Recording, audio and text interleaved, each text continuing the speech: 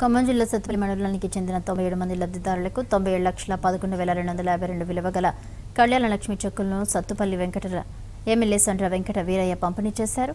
సత్తుపల్లిలోని స్థానిక MLA camp కార్యాలయంలో ఏర్పాటు చేసిన కార్యక్రమంలో ఎమ్మెల్యే సండ్ర తన సొంత ఖర్చులతో లబ్ధిదారులకు నూతన వస్త్రాలు అందించారు. కళ్యాణ లక్ష్మిని ప్రతి ఒక్కరు వినియోగించుకోవాలని ఎమ్మెల్యే సండ్ర తెలిపారు.